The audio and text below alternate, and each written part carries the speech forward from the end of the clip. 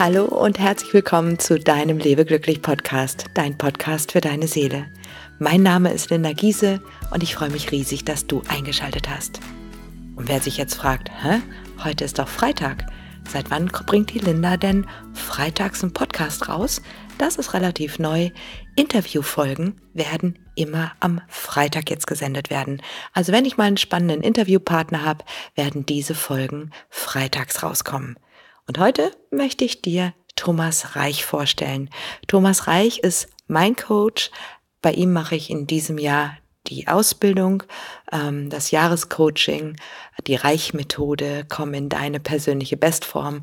Und ja, diese Ausbildung begeistert mich total. Und ich habe mir gedacht, was mich interessiert, könnte dich vielleicht auch interessieren. Denn so wie der Name schon sagt, Spiritualität trifft Erfolg. Hier geht es natürlich um eine Vermischung aus Spiritualität, das ist das, wofür ich stehe, und Erfolg, und das ist das, wofür der Thomas steht. Und Erfolg und Spiritualität sind für mich persönlich ähm, zwei Dinge, die können wunderbar zusammengehören. Und wenn du vielleicht auch Lust hast, ähm, dein spirituelles Business nach vorne zu bringen, dann könnte dich unser Austausch bestimmt interessieren. Ja, in diesem Sinne wünsche ich dir ganz, ganz viel Freude mit dieser Podcast-Folge. Linda, was ist jetzt? Fängst du an oder soll ich anfangen? hey Thomas, hallo liebe ja. Zuhörer. Ja, ich würde sagen, ich fange an, weil Ladies first, oder? Ja, wie, aber wir haben beide Führung. Wir sind, ja, wir sind ja beide so Typen, die immer irgendwie vorne sein wollen und immer äh, sagen, wo es lang geht. Also fange ich doch an, oder nicht? Du bist das Alpha-Männchen und ich bin das Alpha-Weibchen und auch dabei gilt ganz klar Ladies first. Ja, aber du könntest doch einfach mal sagen, okay, Ladies first gilt so häufig. Thomas, heute bist du mal dran. Was hältst du davon? Ich glaube, meine Zuhörerinnen, die würden das sehr charmant finden, wenn du würdest, Ladies first. Okay, dann, deine Zuhörerinnen auch. okay, dann machen wir es so, wie es in der Überschrift steht. Spiritualität trifft Erfolg. Ja. Und dann natürlich Ladies First, denn du bist ja für Spiritualität sehr bekannt. Und ich habe davon gehört, dass der eine oder andere sagt, na, Thomas Reich ist irgendwie für Erfolg in welcher Definition auch immer bekannt. Ja, Nomen ist um. Okay, Linda, wir machen das ja so, du in meinem Podcast, ich in deinem Podcast, wir jetzt unser Podcast im Grunde genommen. Also Ladies First für alle, die jetzt meinen Podcast hören, wollen ja wissen, wer ist denn Linda Giese? Wer ist es? Ja.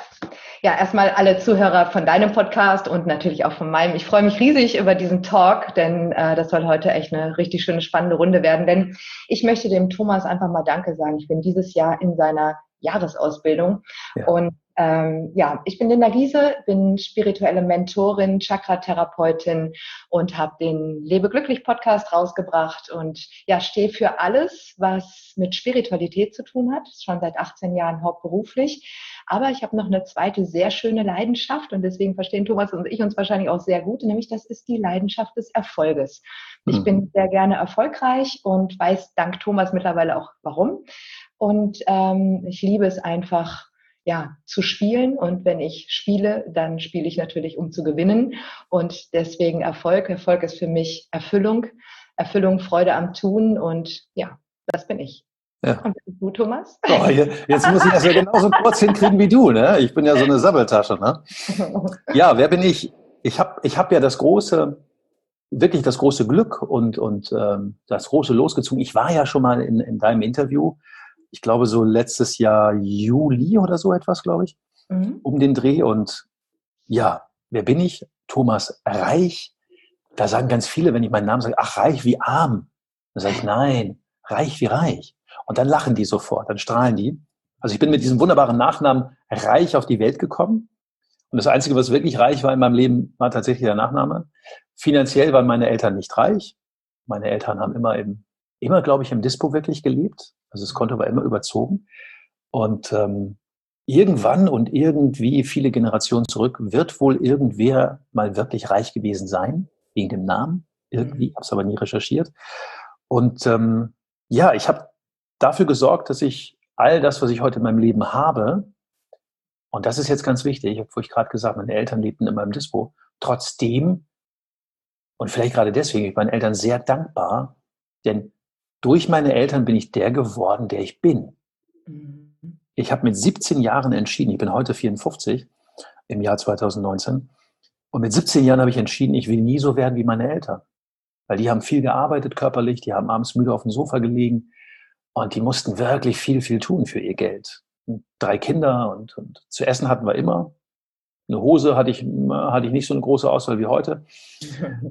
Und ähm, ja, heute beschäftige ich mich mit Persönlichkeitsentwicklung, auch bei mir selber und ähm, eben auch mit meinen Kunden. Und äh, von daher habe ich mich damals sehr, sehr gefreut, als du, Linda, dich bei mir gemeldet hast und gesagt hast, du, also äh, da wollen wir doch mal jetzt auch nicht nur ein Interview machen.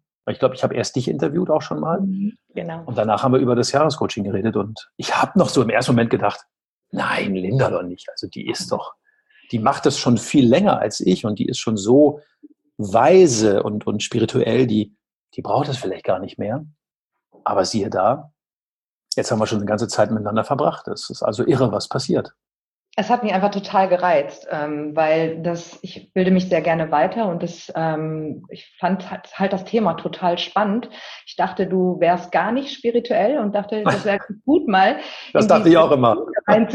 Ja, genau, da bin ich ja auch eines Besseren belehrt worden. Ich habe mich bei dir sehr, sehr wohl gefühlt oder fühle ich mich auch noch sehr wohl. Mhm. Und ähm, und vor allen Dingen war das ja auch spannend. Ich hatte ja eine Lebensphase, in der ich das Fernsehen aufgegeben hatte und ja. damit meine Identifikationen erstmal äh, weggeflogen sind, habe ich auch erstmal dumm geguckt und gemerkt, boah, ich könnte eigentlich ganz gut Hilfe gebrauchen bei all dem, mhm. was ich mir jetzt eigenständig aufbauen möchte. Und die Entscheidung, zu dir zu kommen, war natürlich die aller, allerbeste. Und bin mega gerne bei dir im Jahrescoaching, kann das auch wirklich nur empfehlen. Vor allen Dingen, was ich so enorm spannend finde, ist, ähm, dass wir spirituellen Menschen, wir sind ja immer so auf der Suche danach, wer sind wir wirklich und mhm. äh, was ist der Sinn des Lebens. Mhm. Und ähm, das funktioniert ja auch gut, wenn wir auf dieser Reise sind und das ist auch sehr erfüllend. Aber dein Ansatz ist ja nochmal ein ganz anderer. Du gehst ja über die intrinsischen Motivationen mhm. und also das fand ich zum Beispiel für mich persönlich eine unglaubliche Bereicherung, denn ähm, früher habe ich zum Beispiel immer hinterm Berg gehalten damit, dass ich gerne erfolgreich bin, weil das ja. passt in ein spirituelles Weltbild. Ja? Und ähm, heute bin ich ähm, total stolz und sage das auch total gerne, mhm. denn von dir habe ich jetzt über die, ähm, über die PLDs, so nennen die sich ja, ähm, herausgefunden, dass zum Beispiel das, was bei mir immer so als Egoismus abgestempelt wurde, gar kein Egoismus ist, sondern ein Realismus, dass ich Dinge tue, weil sie Sinn machen für mich. Mhm. Ja, weil ich, weil ich etwas davon habe oder weil ich zum Beispiel wie mit dem Spielen, ich möchte natürlich gewinnen. Ja. ja. Und ähm, das hat mich zum Beispiel extrem entlastet, ja. Und auch zu wissen, ähm, ja, ich gebe gerne den Ton an. Das mhm. ist einfach so. Ich bin ja. das alte Weibchen. Ich bin Habführung. Und das hat mir total gut getan, ähm, ja, einfach auf dieser Ebene einfach auch mein Sein mal zu beleuchten. Mhm. Genau, das ist ja so wichtig zu, zu erkennen, so wie ich bin, bin ich erstmal gut. Genau. Und ähm, ich habe mich, ich beschäftige mich ja seit 2000 13 mit diesen intrinsischen Motivatoren, mit den PLDs, Personal Life Driver. Und es ist so spannend, dass, dass Menschen dadurch, dass sie im Grunde so grün auf weiß, weil die, die Farben, die wir da darstellen, sind grün, also nicht schwarz auf weiß, sondern grün auf weiß, äh, dann auch sehen, ach ja, das bin, ach so, ja, ach so bin ich, ach so. Und das ist okay, dass ich den Ton angeben will, weil ich habe Führung, ich will Menschen führen, so hoch ausgeprägt ach, das ist in Ordnung, weil ich habe immer gehört, stell dich nicht so äh, hervor und sei nicht so vorlaut und, und ähm, all diese ganzen Geschichten. Also wirklich zu sehen, so wie ich bin, bin ich gut. Und dann zu wissen, wenn ich meinen Fokus darauf lege, wie ich intrinsisch ticke, mhm. dann werde ich natürlich auch, ich will jetzt nicht sagen automatisch erfolgreicher, aber zumindest in meiner, wie ich es mal nenne, in meiner persönlichen Bestform erfolgreich. Und ich wie du schon sagst, ich bin zwar auch spirituell, ich hatte gerade am letzten Wochenende so eine ganz tolle Erfahrung gemacht, aber ich bin nicht da draußen bekannt für Spiritualität. Da würde jetzt keiner drauf kommen und sagen, nee, Thomas, der kommt, der haut dir gleich eine drauf, der stellt dir eine Frage, dann liegst du mit, mit dem Rücken am Boden und strampelst mit den Füßchen, weil die Frage dich umhaut. Ähm, das ist jetzt vielleicht nicht so spirituell, äh, spirituell wie, wie die Leute denken. Aber, aber wir haben zum Beispiel morphisches Feldlesen äh, gemacht. Ja, natürlich. Mega geil. Ja, ja auch krass. Mhm. Ähm, ich will mal wissen, und ich, ich weiß es wirklich nicht genau, Linda, also intrinsische Motivation für alle, die hinhören, auch deine Hörer und Hörerinnen, das kommt aus dem Inneren, das sitzt in unseren Genen. Und die intrinsische Motivation, die Gene, sind in unserem Unterbewusstsein verankert. Mhm. Wo kommt denn die Spiritualität her? Ist die auch im Unbewussten, im Unterbewusstsein verankert oder sitzt das tatsächlich irgendwie in unserer Birne da oben? Was meinst du? Also, ähm, also unser wahres Sein, unser spirituelles Sein ähm, hat recht wenig mit unserem Unterbewusstsein zu tun und auch nicht mit unserer Birne. Also unser mhm. Bewusstsein mhm. wird nicht vom Gehirn erzeugt, mhm. wenn wir auch sehr bewusst bei einer Sache sein können und mit unserer konzentrierten Aufmerksamkeit dabei sein können. Mhm. Und ähm, der Fehler, der häufig meiner Meinung nach in der Spiritualität gemacht wird, wir versuchen, ähm, unser wahres Sein zu leben, ähm, welches aber völlig übergeordnet ist ähm, dem menschlichen Sein. Wir Menschen hier auf der Erde, wir sind Menschen und da spielt natürlich mhm. das Gehirn und auch das Unterbewusstsein und natürlich auch unsere Gene spielen da eine ganz, ganz wichtige Rolle. Mhm. Ähm, wenn ich als spiritueller Mensch meine intrinsischen Motivationen nicht kenne, dann kann das schnell passieren, dass ich Fehler mache. Das heißt, ich strebe nach meiner perfekten Form des, des höheren Selbst, des Seins, mhm. wahren Seins und, ähm, und unterschlage sozusagen meine intrinsischen Motivationen. Ja, das mhm. heißt, Egoismus, nehmen wir mal das Wort, ähm, ist negativ. Man soll ja sogar sein Ego loswerden. Ja, mhm. meiner Meinung nach muss man erstmal ein gesundes Ego entwickeln, bevor man es loswerden kann. Ja, ja und, ich, ich sage auch immer, mach dir dein Ego lieber zum Freund, denn ja, wenn genau. es ein Teil von dir ist, ja. und ich versuche immer das loszuwerden, habe ich einen ständigen Kampf. Genau. Und, und das Ego in meinem ganz simplen Verständnis nicht als Freund zu sehen, halte ich, ich ganz persönlich, nur mit meinen Worten, für falsch, wenn es ein mhm. Teil von mir ist. Ich habe doch lieber einen Freund an meiner Seite, weil wenn er mein Freund ist, Männlein oder Weiblein, dann kann ich doch immer sagen, hey, ich brauche jetzt mal echt ein bisschen Zeit für mich. Hast du Verständnis dafür? Und meine Freunde, also so die, die ganz dicken Freunde, die würden sofort sagen, kein Thema. Wie lange brauchst du? Eine Stunde, einen Tag, eine Woche, ein Jahr, zwei Jahre, ein Jahrzehnt? Und mhm. das wäre okay für sie. Ja, ja, mhm. ja genau. Ja, ähm, das, und das meine ich eben einfach. Es ist total schön, wenn wir es hinbekommen, ähm, Mensch zu sein und unsere Stärken zu kennen und die natürlich mit unserem höheren Wesen zu verbinden. Ja, mhm. ähm, nehmen wir das Wort Realismus. Ich tue tu Dinge, ähm, weil sie Sinn machen für mich. Ja, mhm. früher nannte man das ja dann Egoismus ähm, in der negativen Belastungsform. Ähm, seitdem ich das weiß, ist das total schön, weil ich natürlich viel klarer auch meinen spirituellen Beruf jetzt ausübe. Natürlich mhm. weiß ich, was ich tue und natürlich ähm, macht das Sinn für mich, aber natürlich definitiv auch für alle anderen. Mhm. Und auch die Führung zu übernehmen ist in meiner Arbeit absolut wichtig, wenn ich als heute eine Ausbildung gebe, ja, wie jetzt mhm. äh, 2021 wieder beginnen wird, da ist es total wichtig, die Menschen zu führen, gerade wenn es um die spirituellen Sphären auch geht, ja, wo man mhm. vielleicht wirklich mal loslässt und alles das vergessen darf, was man bisher gelernt hat, um an wirklich seine höheren Kräfte auch ranzukommen, um, um den ganzen Mechanismus der Spiritualität und der Chakren zu begreifen und auch in diese mhm. Erlebnisebene eintauchen zu können. Mhm. Da Führung absolut wichtig. Mhm. Ja?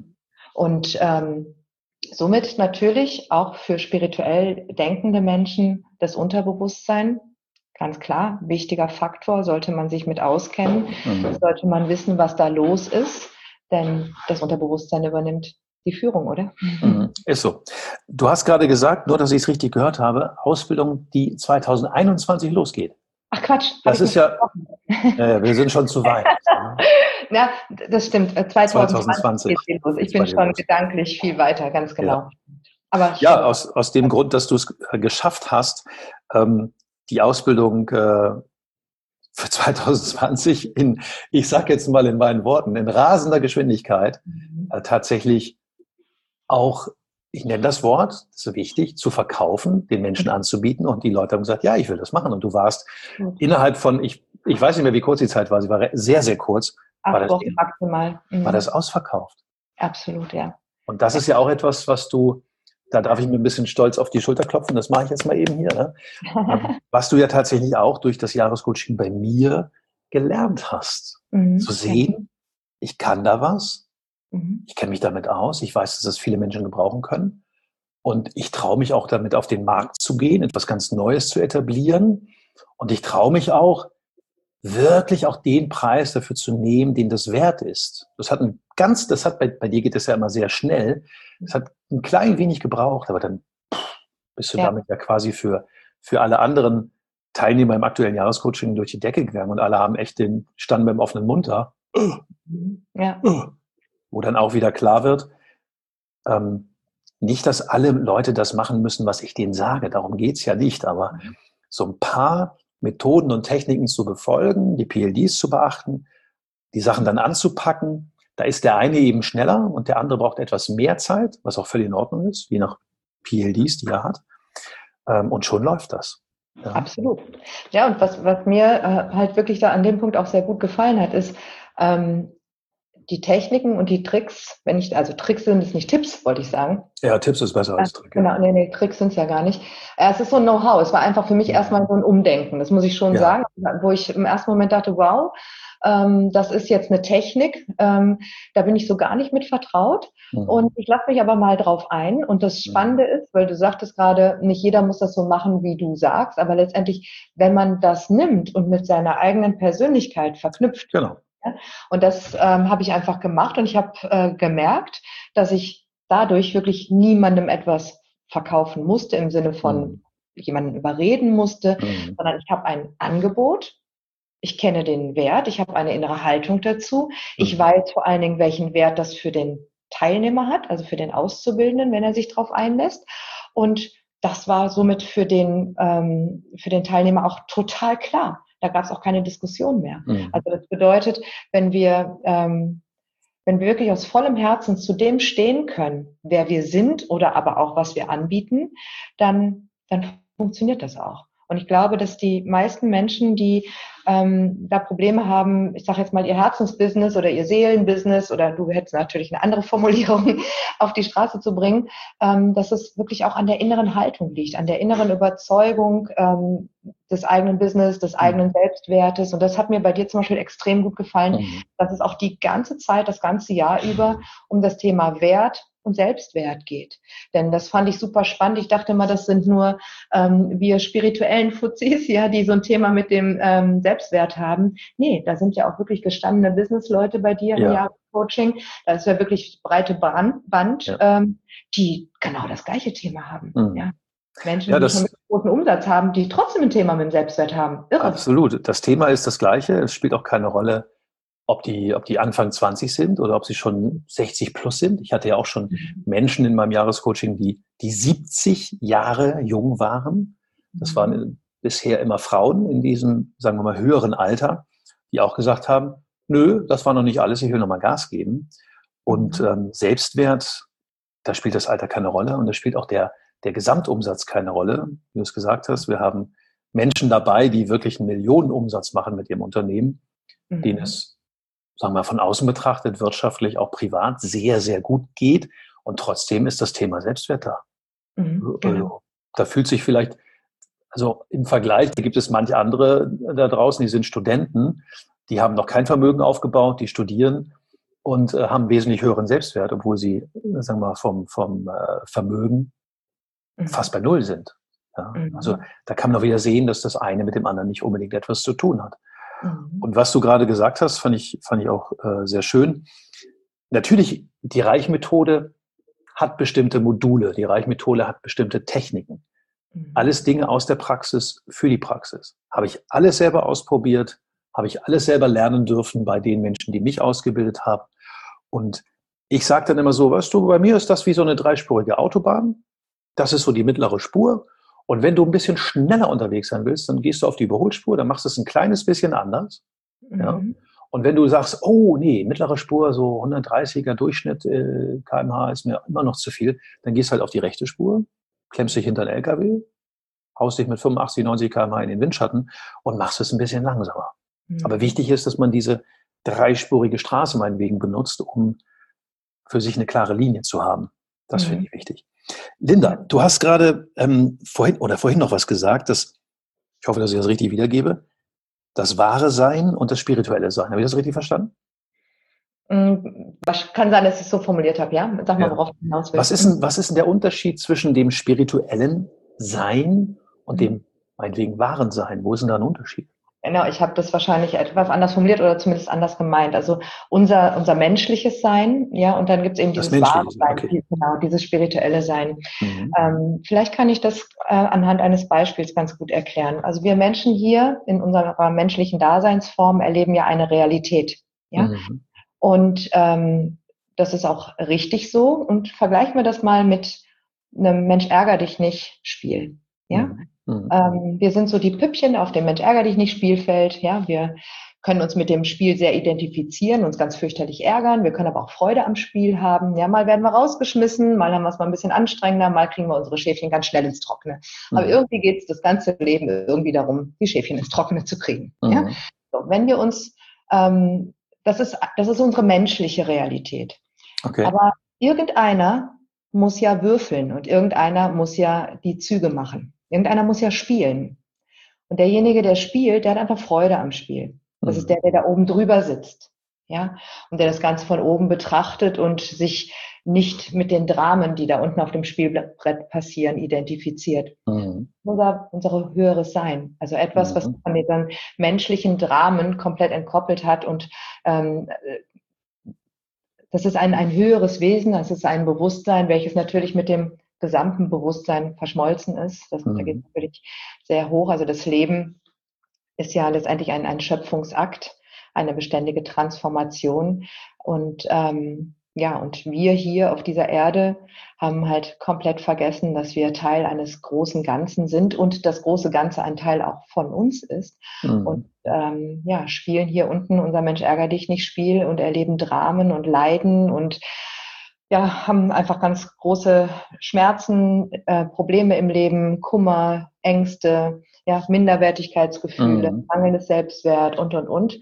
Und ja, und an dem Punkt greift eben meine Chakra-Therapie, die eben Heilung an Körper, Geist und Seele hervorbringt. Das können, mhm. lernen wir natürlich für uns selbst und auch eben anzuwenden für andere Menschen. Und das, das reicht so weit, dass wenn du die Mechanismen der Energien verstehst, dann kannst du sogar deine Lebensumstände ähm, erfolgreich, wenn du das gerne möchtest, ja, was auch immer für dich Erfolg ist, ähm, so gestalten, wie du das möchtest. Ja, also mhm. also folgt alles der Aufmerksamkeit. Ja, die, die, ich sag mal so, die Kunst an der Sache ist, glaube, also glaube ich zumindest, so erfahre ich das, so mit dem höheren Sein, einmal die Geduld zu haben, das zu, zu erleben, das zu spüren, denn es lässt sich nicht so greifen wie, wie eine Technik aus der Reichmethode, mhm. ein Akquisesatz oder Mhm. Eine, also die, die PLD-Batterie, wo man sehen kann, was mich intrinsisch antreibt, das kann man ja sehen und das kriegt man vielleicht ein bisschen schneller gespürt,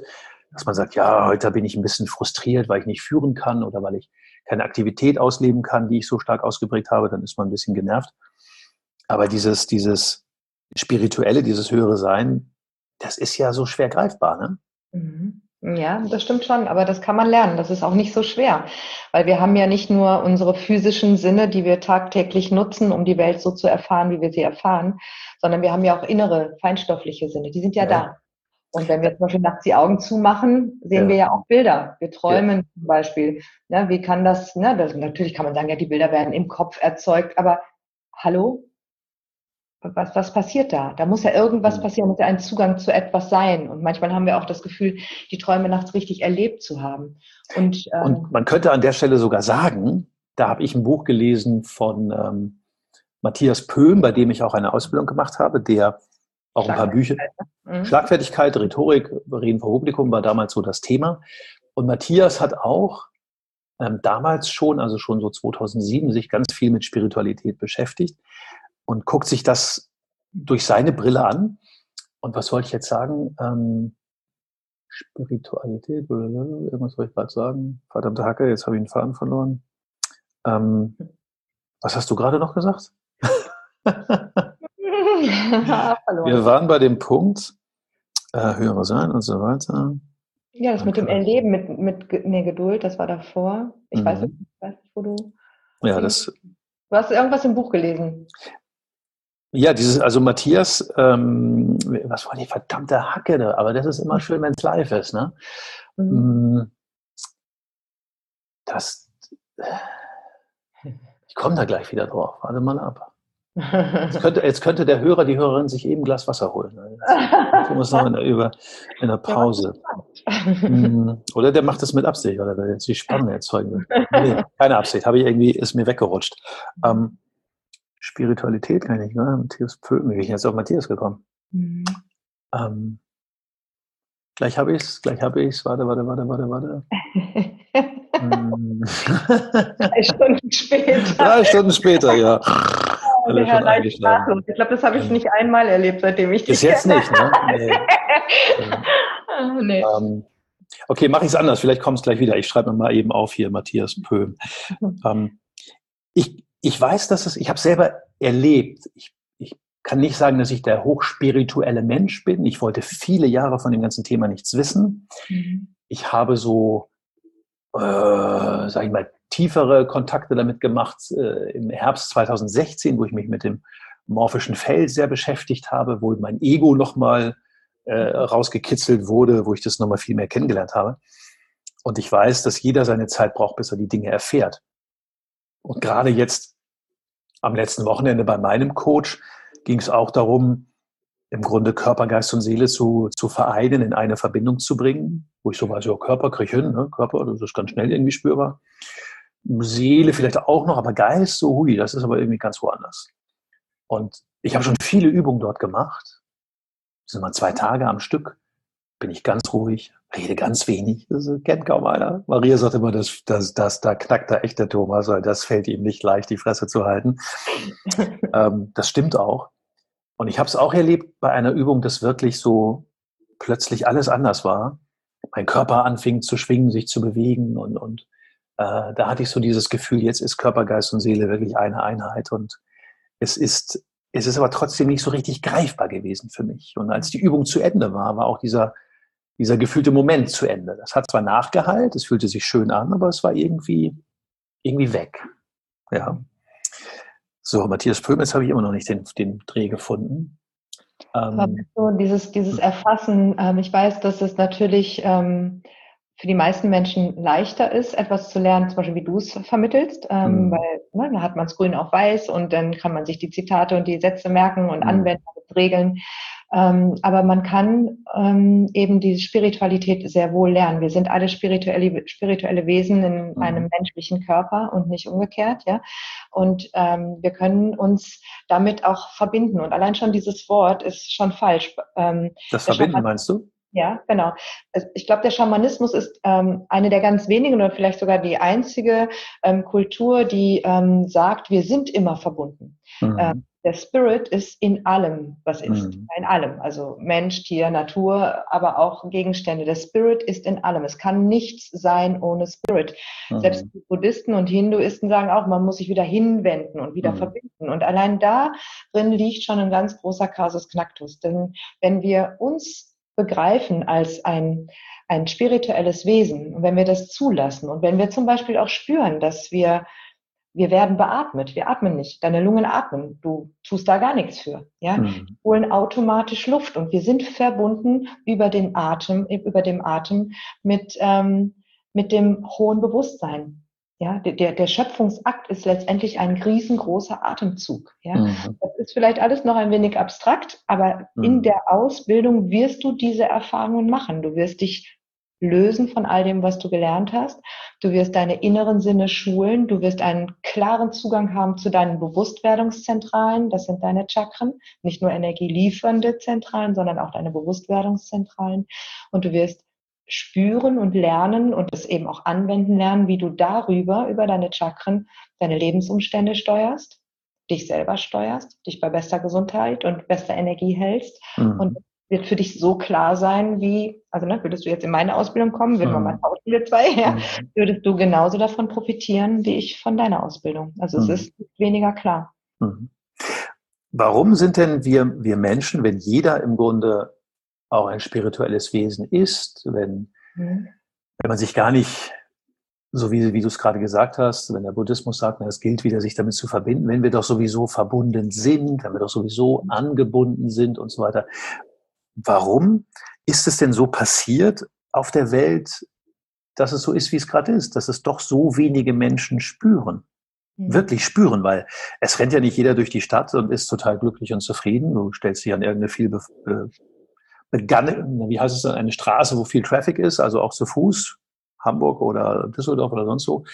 Ähm, und man sieht ja nicht, dass die Menschen glücklich sind. Man mhm. sieht und spürt, da ist doch eher Unglück, Angst, Verkrampfung, äh, Zwang und Druck und hast du nicht gesehen. Warum mhm. ist das denn dann so? Also warum gibt es nicht den, den, einen Satz noch, warum gibt es nicht den von oben, den oder die von oben, die Schnips machen und sagen, so, jetzt sind alle wieder ganz smoothie glücklich. Mhm ähm, weil es nicht der, der Sinn äh, des Ganzen ist, dass wir alle smoothie glücklich sind, sondern weil der Sinn des Ganzen ist, dass all das, was nicht Liebe oder nicht Glück ist, ja, ähm, transformiert wird in Liebe und Glück. Das Ganze ist ein großer Transformationsprozess. Wir Menschen, wenn wir alle nach unserer Berufung streben und suchen, wir haben letztendlich eine einzige Aufgabe und das ist eben all das, was nicht Liebe ist, in Liebe zu transformieren. Und ähm, ich bin der festen Überzeugung, dass die Menschen früher einen viel größeren Zugang hatten zu ihren spirituellen Fähigkeiten und Wahrnehmungen. Mhm. Dass im Laufe der Evolution, aus verschiedenen Gründen, will da jetzt auch gar nicht mit irgendwelchen Verschwörungstheorien und mhm. irgendwelchen Machtgehabe äh, aufwarten, aber es wird Gründe gegeben haben, warum der Mensch sich so entwickelt hat, dass er ähm, dem Gott Geld dient. Ja, und äh, der Gier und dadurch natürlich auch eher der Angst. Ja?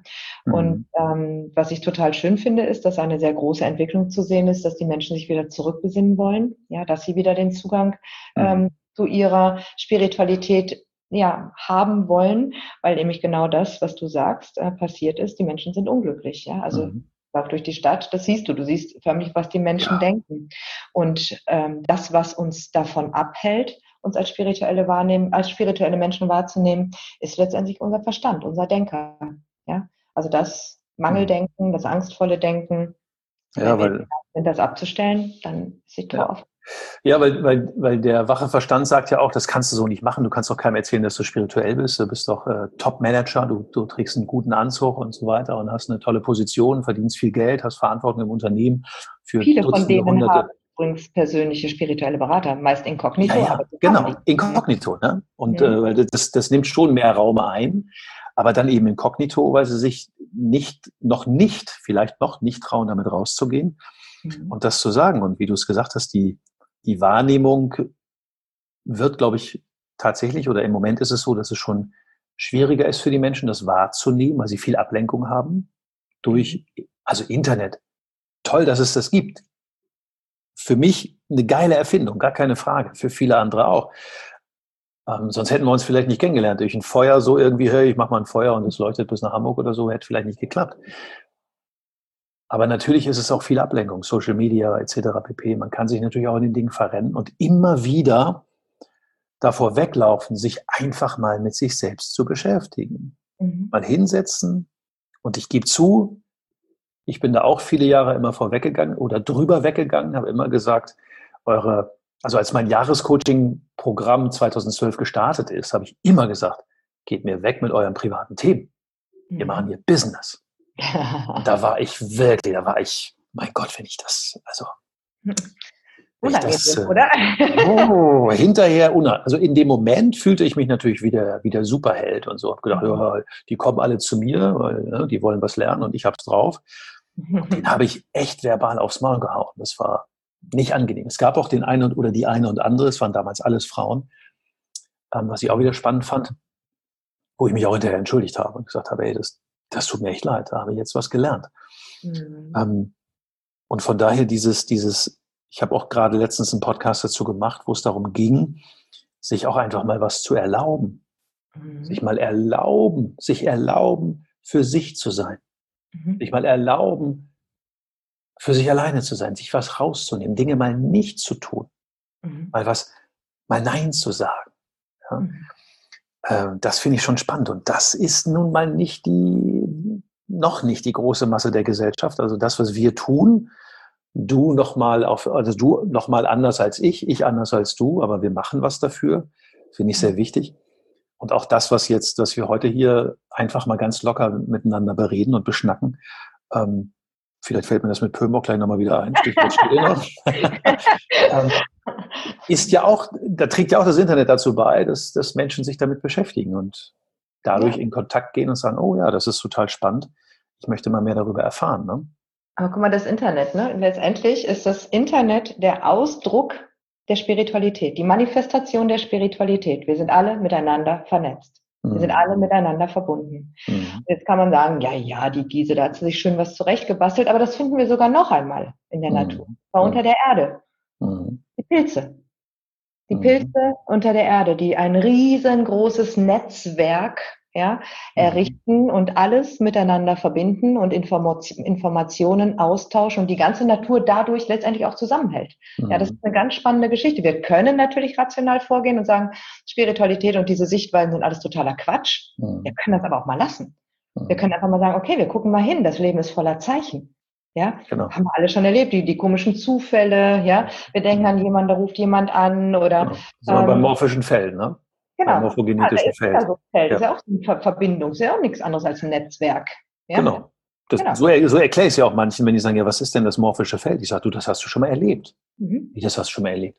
Na, dein bester Freund, hast daran gedacht? Oh, hast du lange nie angerufen, nimmst dein Smartphone, Anruf in Abwesenheit, dein bester Freund hat angerufen. Ja. Und wenn du dann mit dem redest, sagt er, du, ich habe vorhin an dich gedacht. Weiß auch nicht warum. Das ja. ist Bluetooth. Mhm. Das ist Bluetooth, das ist nichts anderes. Aber es funktioniert noch, das funktioniert ja auch noch ganz anders. Menschen, die immer über ihren Job jammern, hm. morgen schon schlecht gelaunt dahin gehen, sich über ihre ja. Arbeitskollegen aufregen, sich darüber aufregen, dass das Gehalt zu wenig ist, der mhm. Chef cholerisch ist oder whatever. Das mhm. machst du für eine ganze Weile und dann irgendwann, zack, greift die Verbindung, Job weg. Stehen sie genau. da, Kündigung in der Hand. Schon ja. mal erlebt, ja. Mhm. So, und dann ist das Geschrei groß. Mhm. Jetzt könnten wir all dieses Wissen ja nutzen und wirklich ganz bewusst etwas tun, nämlich mhm eine Verbindung aufbauen, die wir uns gerne wünschen. Mhm. Ja? Wirklich konsequent, ne, du sagst ja immer so schön, Kontinuität bescheißt. Bescheißt dich nicht, ja. Ähm, kontinuierlich wirklich uns ähm, das mit dem, mit dem verbinden, was wir auch gerne haben wollen. Und da kommt es nämlich auch, dass wir den Fernseher mal auslassen, dass wir die ganzen Ablenkungen auslassen, dass wir uns wirklich mit uns beschäftigen. Mhm wenn wir mal nichts tun, da kommen nämlich mhm. auch ganz viele Informationen, ja, die sind uns mhm. dann auch zugänglich, das, die filtert das Gehirn dann vor lauter Stress nicht einfach raus, damit wir mhm. eine Konzentration für unsere Tätigkeit haben. Nee, dann kann unser Gehirn sich mal entspannen, dann kommen die ganzen Informationen durch und ähm, wir erleben dann auf einmal, dass wir, wenn wir Dinge tun, die uns Freude machen, wenn wir Dinge ähm, einfach mal liegen lassen können, uns, uns mit uns verbinden. Wenn wir in so einen Modus eintauchen, in dem es wirklich nur um uns und unser Leben geht, dann wandelt sich unser Leben, dann mhm. dreht sich was, dann tut sich was. Ja, und dann haben wir auf einmal Lust, auch in unsere persönliche Bestform zu kommen. Dann machen wir anstatt den Fernseher an oder irgendwelche schnöden Ablenkungen, Katzenbabybilder gucken, ja, Katzenvideos mhm. gucken weil in Social Media, fangen wir auf einmal an, Dinge zu lernen, eine Ausbildung zu machen. Klar, mhm. so wie ich. Bei mir war es einfach ganz klar. Ich wusste, ich muss jetzt etwas tun, um in meine Bestform zu kommen. Meine 18 mhm. Jahre Erfolg haben vorher griffen nicht mehr. Ich musste mir was einfallen lassen. Ich hätte mich mhm. auch vor den Fernseher oder wie heißt das heute Netflix oder sonst was schmeißen können ich hätte auch ins arme Opfer sein fallen können. Nee, ich habe gesagt, okay, wenn all das, was bisher äh, gut war, jetzt gerade nicht greift, die Tür einfach irgendwie zu ist, warum auch immer, dann bedeutet das, ich muss einfach mal woanders hingucken. Ich habe einfach die Zeichen erkannt. Mhm. Dann bist du mir über die Füße gefallen. Wir haben uns ja im Bett kennengelernt. Ne? Stimmt, du hast im Bett gelegen morgens. Irgendwie, ne? ja, ja. Mein Telefon, Thomas Reich hier. Du für ein Interview machen? Und ähm, ja, und das, das sind Zeichen. Und wenn wir einfach offen sind dafür, es war ein Zeichen. Thomas, ich meine ganz ehrlich, worüber reden wir? Mhm. Du hast mich morgens in meinem Bett erwischt, mhm. ja. Ich habe die Zeichen erkannt, wir haben ein mhm. bisschen Talk gemacht, aber letztendlich bin ich zu dir in die Ausbildung gekommen mhm. und letztendlich ist dadurch etwas Gigantisches erwachsen. Mhm. Ja, habe ich noch gedacht, du bist nicht spirituell, ganz im Gegenteil, mhm. hast dann auf jeden Fall drauf und hast mich da echt wirklich super unterstützt. Und jetzt steht da ein Business, was so gigantisch ist, nicht nur für mich selbst, sondern auch mhm. für all die Teilnehmer, die das genau. Machen. Und einfach die Zeichen des Lebens erkannt. Und jetzt sagt mal einer, das, das war nicht spirituell, denn für mich persönlich ist das, was passiert ist, schicksalhaft. Denn das mhm. mein Leben in eine Richtung gelenkt, von der ich heute sagen kann, das kann kein Zufall gewesen sein. Mhm. Ja, die gibt's ja auch nicht, die berühmten Zufälle. Ja, genau, da haben wir es doch, Spiritualität. Ja. Und ähm, genauso wie du, wie du, wie du, wie du, wie du sagst, ähm, ja, du warst sehr erfolgreich im Fernsehen, im TV. Und wir haben allerdings ja auch sofort im ersten Modul bei mir im Jahrescoaching festgestellt, dass deine intrinsischen Motivatoren nicht alle, aber, nicht, aber viele davon, die hoch ausgeprägt sind, überhaupt nicht zum TV gepasst haben. Ja. Also genau. du hast dich ja, sag ich mal, vorsichtig von Karren spannen lassen und dachtest natürlich immer so, ja, das ist ja irgendwie schon richtig. Ich komme damit ja auch raus, ich werde ja gesehen und ich kann ja überall das reden. Aber du hast auch gemerkt, deswegen war das ja auch irgendwann zu Ende. Du hast ja auch gemerkt, wie schwer dir das fällt und, und dass es irgendwie noch nicht so ganz richtig ist, dass noch nicht das endgültig ist. Das ist es heute auch nicht, was du tust. Also wir sind noch jung an Jahren, da wird noch vieles, vieles passieren. Aber da kam sofort die Klarheit mit dem, mit dem Thema PLDs. Wo auch der Daniel, den, den meine Podcast-Hörer kennen, der ja auch aus dem Schauspiel kommt und vor der Kamera war, das so wunderbar auch äh, nochmal vorgeführt hat. Also mhm. vorgeführt und gezeigt, schaut mal Linda. Alle haben gedacht im Kopf, boah, wenn ich die wäre, wäre ich ja schon happy, wäre ich ja schon angekommen. Jetzt schaut mal auf die PLDs. Und du hast da gesessen in Tränen und hast gemerkt, ja, scheiße, stimmt. Das war Absolut. schön. Mhm. Es war aber auch anstrengend und es ist gut, dass es vorbei ist, dass jetzt was Neues passiert. Dass wieder diese, diese Einfachheit zu den, zu den intrinsischen Motivatoren. Ne? Mhm, genau. Ah, ja, Wahnsinn. Wahnsinn. Ja, Pöhm ist mir immer noch nicht eingefallen, Matthias. Ich gucke immer noch hier hin. ich weiß nur, bei Matthias habe ich, habe ich so viel gelernt. Matthias Pöhm, vielleicht kennt ihr der ein oder andere aus der Rhetorik, aus der Schlagfertigkeit. Und ähm, ich habe irgendwann dann mitbekommen, dass er eben auch Bücher geschrieben hat über Spiritualität. Die habe ich auch gelesen, die fand ich auch gut. Mhm. Manches Mal haben sie mich erschrocken, wo ich so dachte, ui, das ist aber, pff, das ist aber krass, was er da jetzt erzählt. Aber so wie er das erzählt und so wie er das auch im Buch beschreibt, dass er sagt, guck mal wirklich, wirklich hin und sei mal wirklich verdammt ehrlich zu dir. Warum tust du dieses oder jenes? Mhm. Und da kommt ganz häufig raus, weil wir Menschen natürlich immer als etwas angesehen werden wollen. Seht her, wie ja. schön ich bin, seht her, wie reich ich bin, seht her, wo ich wohne. Ich nehme mich da nicht aus. Also wenn ich Bilder hier aus, vom, vom, vom Elbstrand poste mit irgendwelchen Schiffchen drauf, dann tue ich das auch ganz bewusst, dass ich, dass die Leute sagen, boah, Wahnsinn. Mhm. Der Typ wohnt ja wirklich da an der Elbe mit diesem Blick. Geil. Und der war mal Hauptschüler? Gibt's ja gar nicht. Der hat im Sägewerk eine Ausbildung gemacht. Mhm. Und dann hat, ist er seinen Weg gegangen. Ich will, dass die Leute das sehen und ich will, dass die Menschen sehen, okay, der hat jetzt wirklich viel dafür getan. Der ist nicht mit dem goldenen Löffel irgendwie im Popo geboren oder so. Ähm, und wenn Menschen sagen, nee, nee, nee, also ich poste das nur aus Spaß, dann ist das ja nicht ganz korrekt. Mhm. Ja.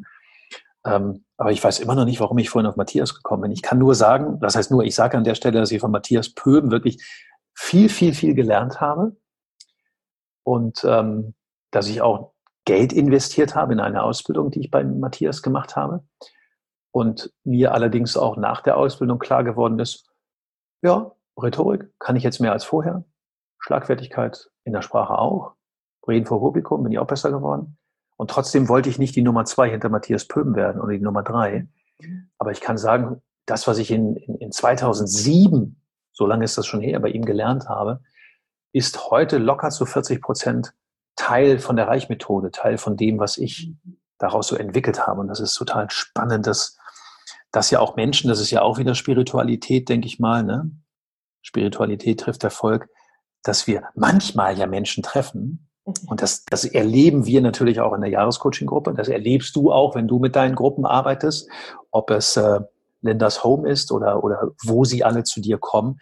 Da erleben wir ja auch in einer kleineren Gruppe, wie manchmal das Gezicke untereinander da ist. Ne? Da ist man total angepisst, weil er oder sie jetzt gerade in den Raum reinkommt.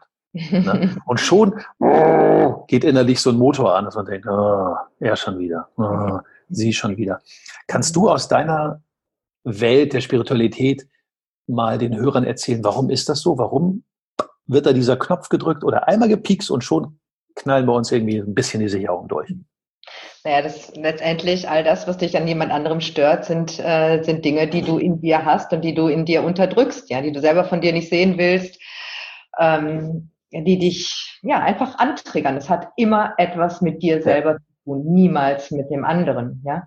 Und ähm, seitdem ich die Energie lebe, du bist ein anderes Ich und ich bin ein anderes Du, lassen mich solche Dinge in der Regel kalt, ja. Und mhm. wenn ähm, ich merke, ich ärgere mich dann doch mal über jemanden, dann schaue ich mir denjenigen an und dann erkenne ich, scheiße, das, was mich an demjenigen ärgert, ist genau das, was ich an mir selbst nicht leiden kann, aber was in ja. mir existiert.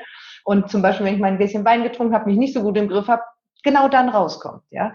Also mhm. ich hatte vor, vor ein paar Tagen hatte ich das nämlich gehabt, da habe ich, im, bin ich mit einem Mann in Kontakt gekommen und der, oh, das war so ein Aufschneider, der war so von sich überzeugt und da habe ich so gemerkt, ja, das hat mich echt, das fand ich einfach blöd, das fand ich doof, das fand ich unangenehm und da muss ich einfach zugeben, ja, es kann dir auch passieren, Linda. Den Teil von mhm. dir, den, den kenne ich. Ja, ja kenne ich. Mhm. Ja, das kenne ich. Ich, ich kenne das auch. Also ich habe ähm, eine Menge auch darüber gelernt. Also früher noch, ich bin auch heute mit Sicherheit nicht komplett davon befreit, nicht zu bewerten.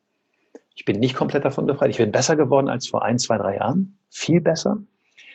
Ich bin auch viel besser darin geworden, wirklich bei, bei mir zu sein und mich nicht von anderen Dingen so anpiksen zu lassen. Also wirklich, ich sage mal so, zwischen Yin und Yang in der Mitte zu sein, ausgeglichen zu sein. Aber natürlich kann es manchmal voll in das Yang rüberknallen oder in das Yin und boah, schon fahren wir außer Haut.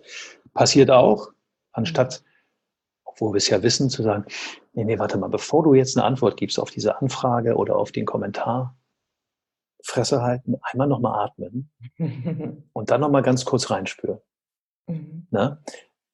Ganz selten passiert es mir, dass ich aus der Haut fahre, aber es ist mir passiert vor ein paar Wochen und dann hat es drei Wochen, drei, locker drei Wochen gedauert, bis das wieder gut war. Bis es in wieder dir oder mit dem Menschen? In mir und auch mit dem anderen Menschen, also beide, das hat drei Wochen gedauert. Ja. Mhm. Und ich habe dazu auch den Tasso mit dabei gehabt. Also wir haben dann den, gesagt, Tasso, komm hier, du, wir beide, du sollst uns mal helfen. Ne? Und das hat er auch gemacht.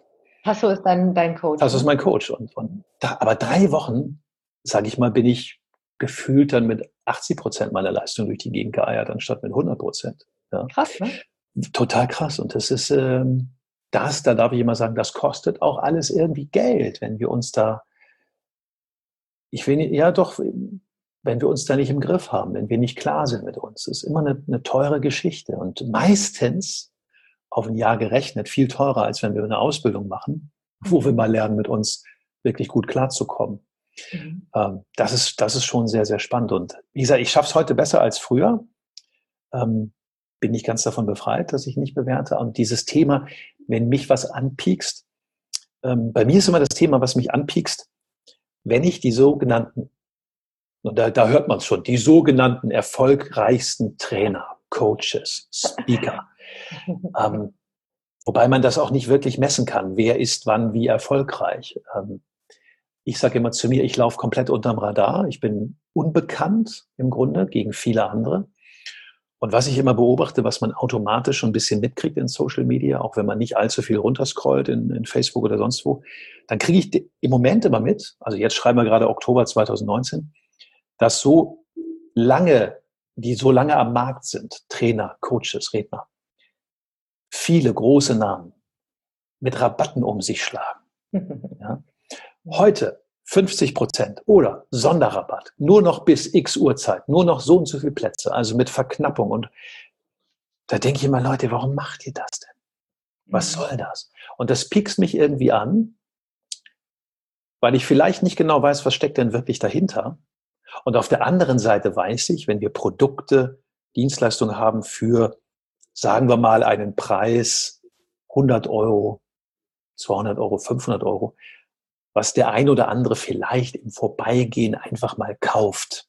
Ja. Ganz wichtig, nur der ein oder andere, wenn man jetzt guckt, was ist das Durchschnitts, der Durchschnittsverdienst von Menschen in Deutschland, liegen wir, glaube ich, bei 1765 Euro oder so im Monat. Ähm, aber wenn man so Preise hat, wo man sagt, ach komm, ich kaufe ich mal und wenn es nichts ist, ist mhm. auch egal. Da funktioniert es natürlich auch, weil die Masse darauf anspringt. Ne, wenn ich weiß, ich schreibe hin, vorher 2000 Euro, jetzt für 500, dann wissen wir, die Leute kaufen. Ist im Supermarkt genau das Gleiche. Ist nicht anders als das, was die, was die Coaches machen. Und was ich aber jetzt da gelernt habe für mich, oder zumindest dran bin, das mehr zu verstehen, lernen ist vielleicht das falsche Wort. Ich gucke mir das jetzt an. Ich nenne mal keine Namen an der Stelle hier. Ähm, ich habe auch vor ein paar Wochen einen Podcast gemacht, ähm, bilde dir deine eigene Meinung. Und da habe ich über E-Bikes gesprochen. Ja, über ah, E-Bikes. Cool. Mhm. Genau, wo mein alter Freund und Weggefährte Hans-Jürgen mir letztes Jahr auf Mallorca, als wir noch so eine schöne Herbsttour auf Mallorca gemacht haben mit dem Rennrad, mir begeistert davon erzählt hat, dass er halt E-Bike gefahren ist. Und ich gesagt habe, sag mal, hast du einen Knall oder was? du fährst doch kein E-Bike, Hans-Jürgen. Du spinnst doch wohl. Wir fahren doch seit, seit 100 Jahren Rennrad. Mhm. Das ist total, ich sage, hör auf, hör auf davon zu reden. Ich will es nicht hören, ich will es nicht hören. Ich bin ein echter Radfahrer. Und dann habe ich mich damit beschäftigt, bin selber E-Bike gefahren und so weiter und habe festgestellt, oh, oh, oh, oh, das ist doch eine schöne Sache. Ja, da kommst du halt mal, sagen wir mal, du willst irgendwo hinfahren, 10, 15 Kilometer und möchtest aber mit einem, nicht mit einem pitchnassen Hemd da ankommen. Mhm. Das halt mit dem E-Bike hast du noch Rückenwind. Und dieses tue ich jetzt auch. Ich gucke mir also jetzt demnächst in Hamburg jemanden an, sehr erfolgreich nach außen, sehr bekannt, gutes Marketing und haut trotzdem, haut trotzdem mit diesen Preisen durch die Gegend. Und mhm. das gucke ich mir jetzt mal an. Ich setze mich in die letzte Reihe, beobachte einfach mal und bilde mir meine eigene Meinung und spüre dann, wenn ich da bin, nochmal ganz genau in mich rein, pisst dich das jetzt, Entschuldigung, dass ich das manchmal so sage, aber pisst dich das jetzt immer noch an, Thomas? Oder lernst du jetzt was, wenn du hier sitzt? Nimmst du was mit für dich? Mhm. Ja, das ist ja, glaube ich, auch ganz wichtig, oder? Immer mal zu gucken, was können ja. wir denn daraus lernen? Das äh, definitiv. Und ich glaube, dass wenn äh, ich mit der Thematik äh, zu dir kommen würde, dann äh, würdest du mir ganz schnell auch schon helfen, bevor ich mir das angucken würde, mir meine mhm. Meinung zu bilden. Denn mhm. dahinter kann nur Angst stecken. Dahinter kann, das kann nicht erfüllend sein, was die machen.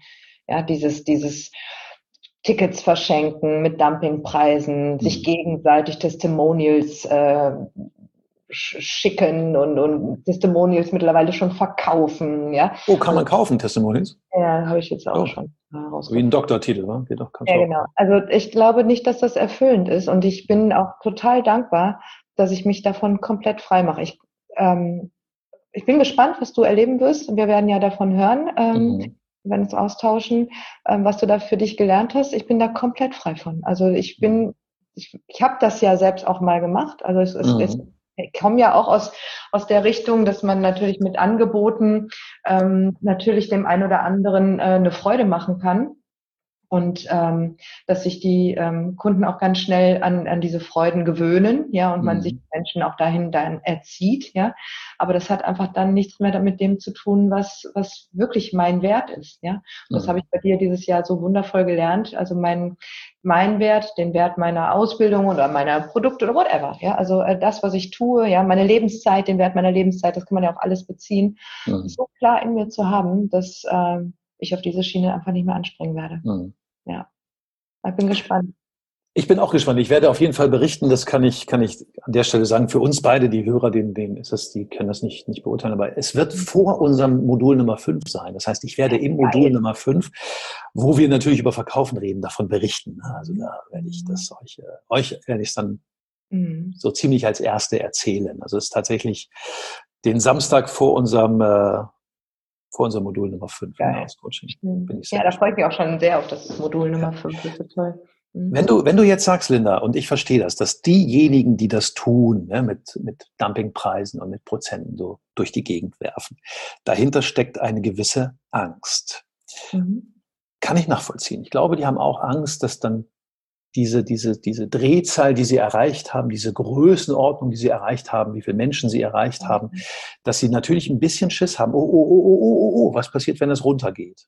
Mhm. Und deswegen müssen wir gucken, dass sie immer wieder genügend Teilnehmer bekommen für ihre Veranstaltung.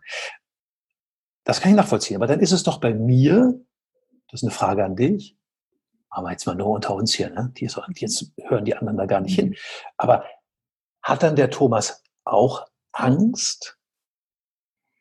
Oder ist das was? Ja, sicher, natürlich ähm, müsste da rein theoretisch eine gewisse Angst hinterstecken, ähm, dass die mit ihren komischen Machenschaften, die du ja für dich letztendlich ablehnst, ne, das so viel ist mhm. ja klar, also das ist nicht gut, was die machen, dass sie damit irgendwie den Markt kaputt machen und dass das mhm. in irgendeiner Form äh, vielleicht auf dich zurückschlagen könnte.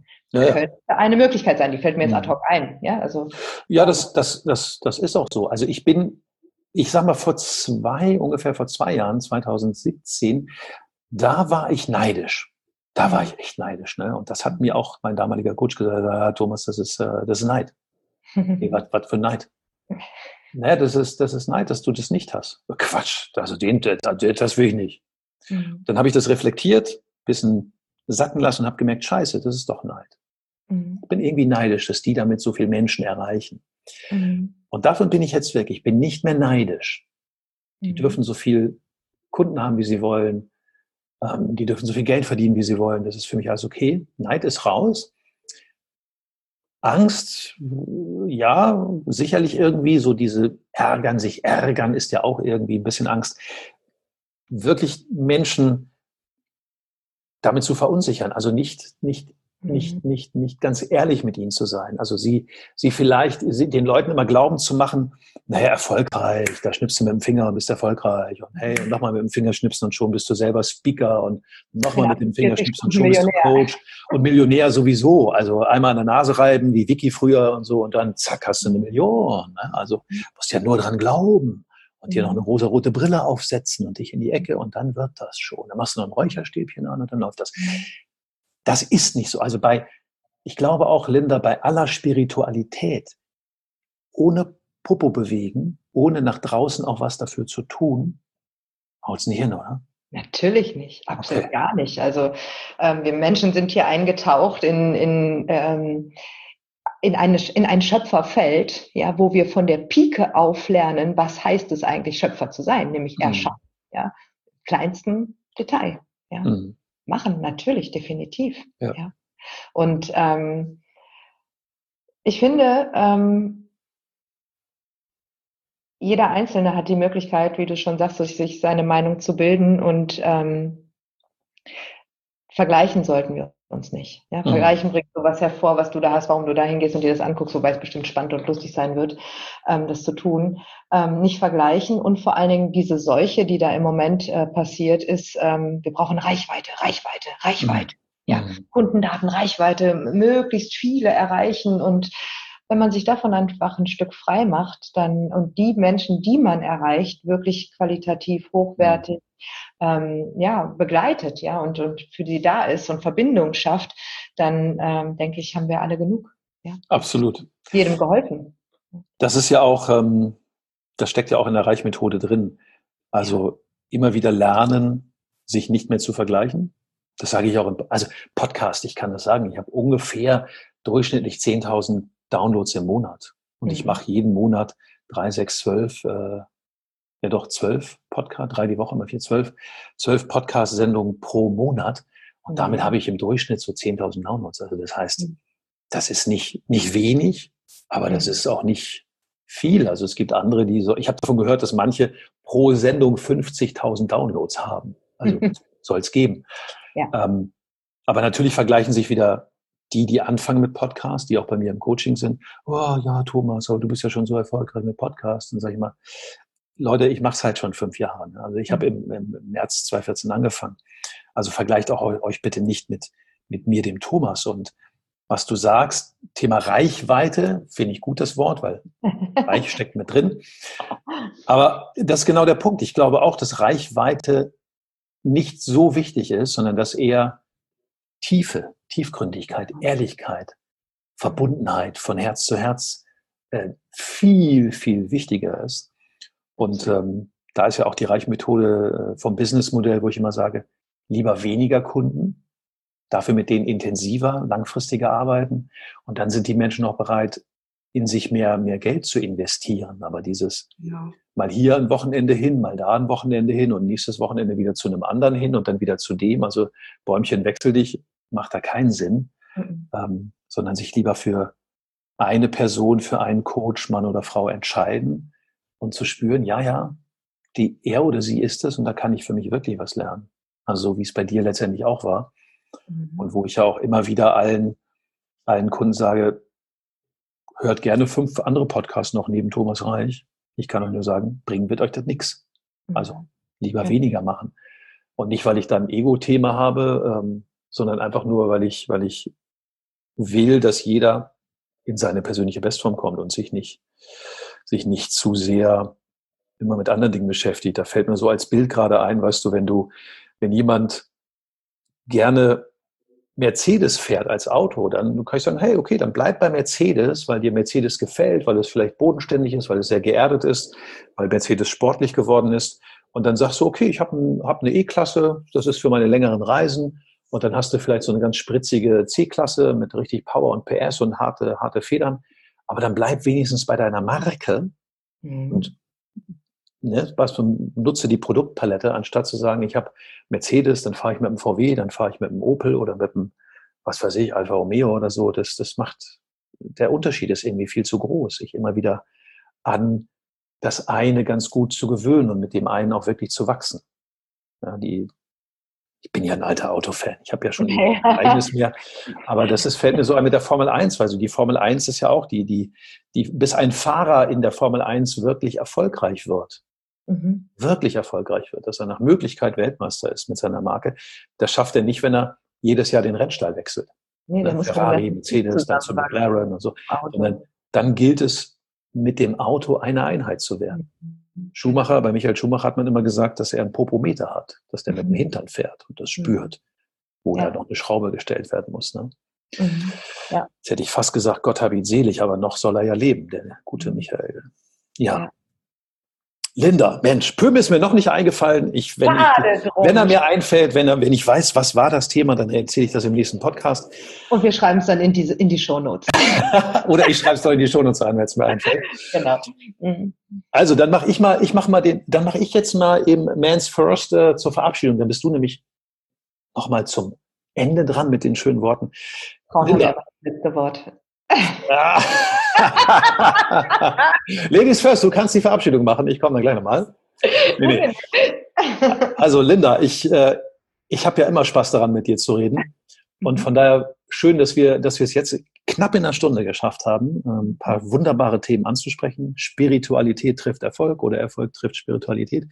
Wir haben beide, glaube ich, wirklich, nee, weiß ich, weiß ich für mich in 2019 äh, viel voneinander gelernt.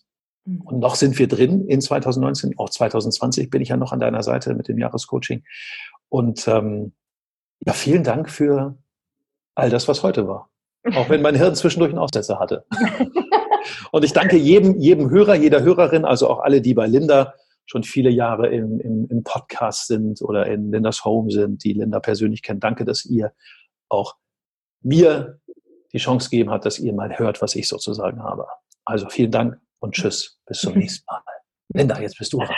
Ja, danke schön, Thomas. Auch ich freue mich sehr über unseren Talk, über unser Interview und natürlich ähm, freue ich mich auch auf all das, was dieses Jahr noch kommen wird und bin dir mega dankbar, ähm, ja, dass du in mein Leben gekommen bist und mein Leben so schön, warte mal, bereichert, bereichert hast. der reicht. Okay. Und, ähm, genau, und äh, natürlich auch Dankeschön an deine Hörer, dass äh, ich hier zu Wort kommen durfte und dass sie mir zugehört haben. Dein Podcast packe ich bei mir in meine Show Notes, wenn ja. meine Hörer gerne mehr von dir wissen möchten und genau. Kontakt mit dir haben wollen. Mhm. Und umgekehrt, in meinen Show Notes steht alles drin, was sie, was sie über dich sehen und hören können und Kontakt aufnehmen können. Also von daher haben wir Wunderbar. was sehr Schönes da getan für die Welt. Ja. Gut. Okay. Ich danke dir. Danke auch, Linda. Und vielen Dank an euch fürs Hinhören und Zuhören. Bis demnächst. Macht's gut. Tschüss. So, das war's auch schon. Ich hoffe, diese Podcast-Folge hat dir gefallen. Und wenn dich etwas interessiert, zum Beispiel der Thomas, dann findest du alle Informationen unten in den Show Notes.